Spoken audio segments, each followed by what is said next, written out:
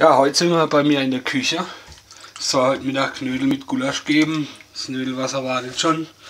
Aber zuerst muss man die Knödel natürlich auch mal rollen. Ja, ich möchte euch einfach mal zeigen. Ja.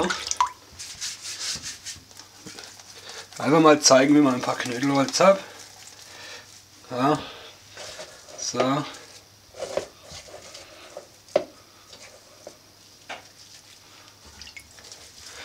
Ja, das Knödelrollen, das lernt man als Metzger natürlich ohne Probleme. So ein bisschen Knödelteig, aber ein bisschen Knödel ist natürlich auch gleich gerollt.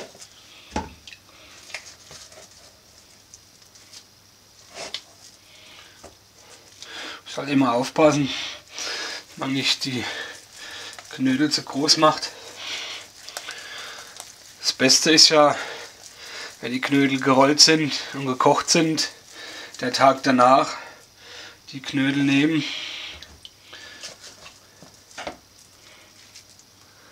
Und in Scheiben schneiden und braten. Macht natürlich am meisten Spaß dann am nächsten Tag. Wie ihr seht, hier hinten auf dem Teller Paprika und Zwiebeln. Da ist das Gulaschfleisch.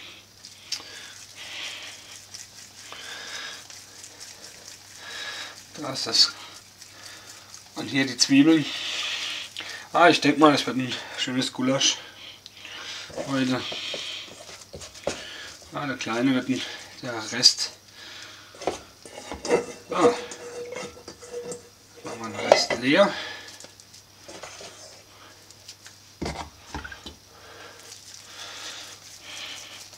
Sind sechs Stück.